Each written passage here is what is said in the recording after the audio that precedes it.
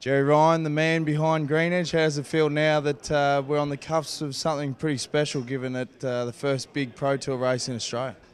Well, Dan, it's, it's great to be here. We've arrived in Adelaide um, with some very successful races uh, since uh, January 1. It's great to see so much the media here today, that uh, the interest that we've created uh, just goes to show that Australia and not only Australia, but the world is very keen to see uh, the Greenedge roll out uh, on uh, Sunday.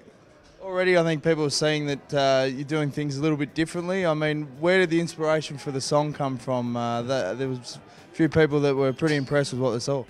Well, I've been around, uh, you know, sporting clubs, and you, have got to have that little song that brings everyone together. And in fact, it came from uh, I thought let's get a theme song, uh, let's put them in a recording studio. And uh, John Rebo said, Well, why don't you uh, put uh, We Won't Back Down as the team uh, song?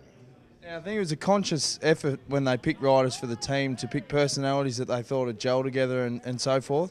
In the time that you've seen the training camp and all the other events and the bonding things you did with, say, Melbourne Storm and so forth, has it impressed you how, how well the group sort of gelled and, and you know moving forward? Do you reckon it's going to have an effect on the road?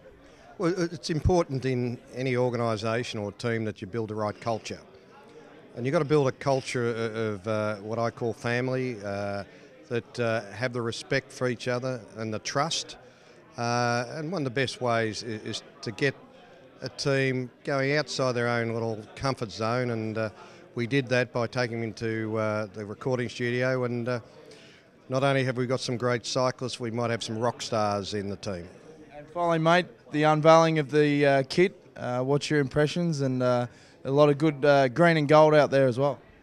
Oh, it's just uh, it's something special. Um, that's the only uh, part I've had a played in is that I was allowed to put uh, the colour green, uh, what what the colour was going to be in the, the, the jersey, and I think it's come up well.